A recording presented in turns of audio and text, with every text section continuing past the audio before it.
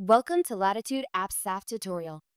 In this video, we will show you how easy it is to correct SAFT inconsistencies reported by the tax authorities. All it takes is four easy steps. Step 1. Download the CSV files attached by the tax authorities in the notifications section to see the SAFT lines with inconsistencies. Step 2. Go to Latitude App Portal, upload the XML file, convert your SAFT declaration to Excel, and download. Step 3. Correct the inconsistencies directly in the Excel file. Step 4. Reconvert the Excel file to XML and validate before you resubmit the corrected SAFT declaration. In just moments, Latitude app will process the data, making even complex corrections manageable within the 30-day deadline. Ready to make compliance easy and stress-free?